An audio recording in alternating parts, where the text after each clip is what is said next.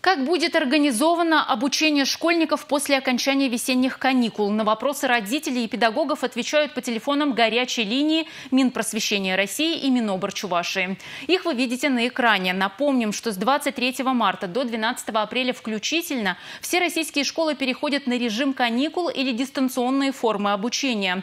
В Чувашии сейчас разрабатывают пошаговые инструкции для родителей, педагогов и учеников.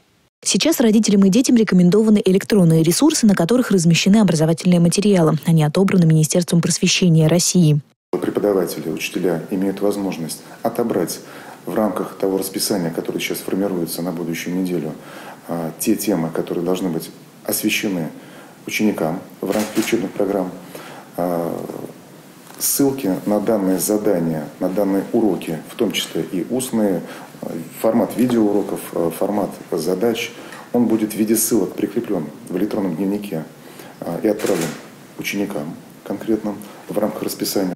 Каждый ученик в электронном дневнике должен получить не просто ссылки, а конкретный путевой лист по каждому предмету, на какой сайт заходить, какое видео смотреть и где выполнять домашнее задание. Разработку стандарта действий уже начали профильные министерства. При этом его не только пропишут, но и наглядно продемонстрируют.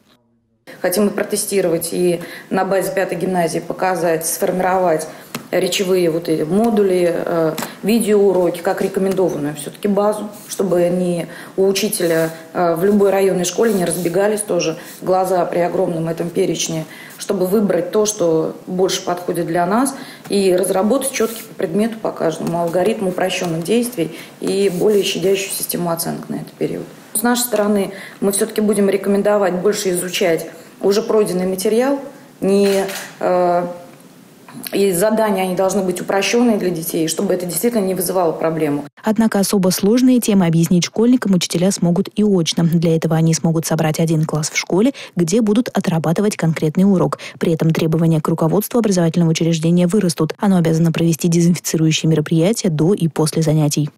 Здесь нам самое главное сейчас очень важно выдержать вот этот э, момент, э, вот, вот этот период, чтобы не допустить распространения болезни э, и пройти его вот с минимальными такими рецидивными, скажем, событиями. При этом школы с небольшим количеством учеников или там, где нет технической возможности перехода на дистанционку, продолжат обучение очно. Младшеклассники по заявлению родителей и согласию администрации школ тоже будут продолжать учиться в обычном режиме. Дистанционное обучение вводится в школах России с 23 марта по 12 апреля. Что будет дальше, зависит от эпидемиологической ситуации. Ирина Волкова, Андрей Шоклев, Республика.